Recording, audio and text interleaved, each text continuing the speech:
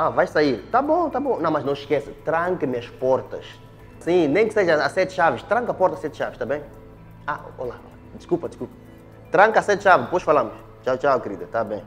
Opa, estava aqui a falar com, com, com a querida aqui. É, pá, ela vai sair e tem que trancar as portas. E por isso que eu pedi nem que fosse a sete chaves. Porque, pronto, não que a porta lá de casa tenha é, sete fechaduras para trancar as sete chaves, mas é força de expressão trancar a sete chaves. Mas de onde surgiu essa expressão? Eu sou Rafael de Araújo e esse é mais um Fatos Curiosos. Estás convidado? Então venha comigo.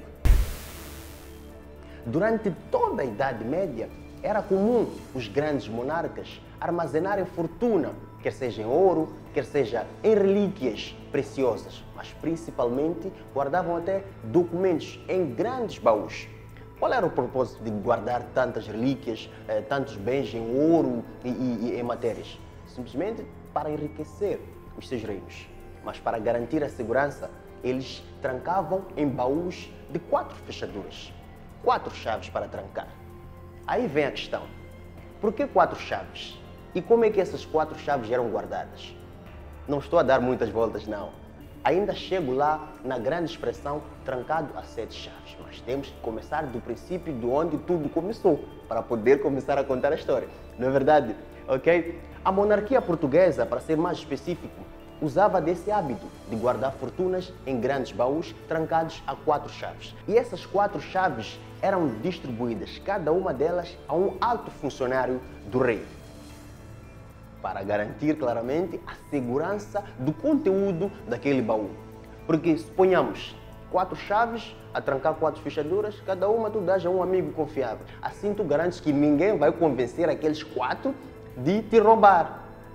Boa estratégia. Acho que poderíamos abrir mão dos bancos, né? abdicar os bancos e passar a guardar as nossas fortunas em baús e distribuir as chaves por aí.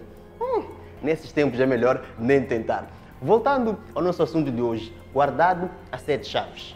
Mas por que depois virou para essa expressão guardar as sete chaves, se no princípio eram só quatro chaves? Bem, vamos ao número 7. O que é que vem à nossa cabeça quando pensamos no número 7? Alguma marca de alguma empresa, algum produto? Nem por isso. Número 7 é o número da sorte para muitas pessoas.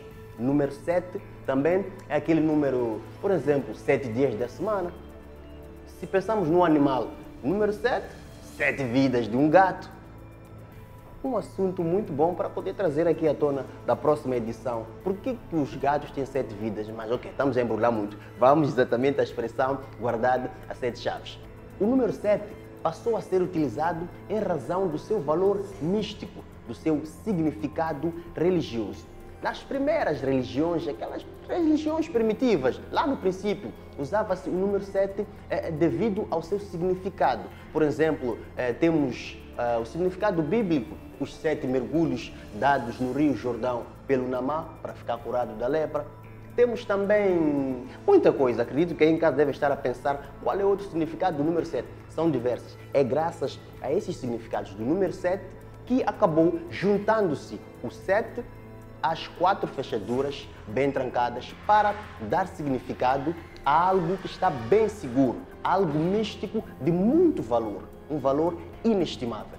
É por isso que, juntando essas histórias todas, viemos à tona a chegar nesse grande significado de guardado a sete chaves. É como eu sempre digo, eu vos baralho um pouco, embrulho aqui, embrulho ali, mas no final das contas eu explico o verdadeiro sentido eh, dos grandes ditados populares, dos grandes mitos e das grandes histórias. Porque afinal de contas esse programa fala sempre do passado no presente para entender melhor o que vem no futuro. Usando a frase de hoje, nós do Gloom Channel vamos guardar você trancado a sete chaves no nosso coração.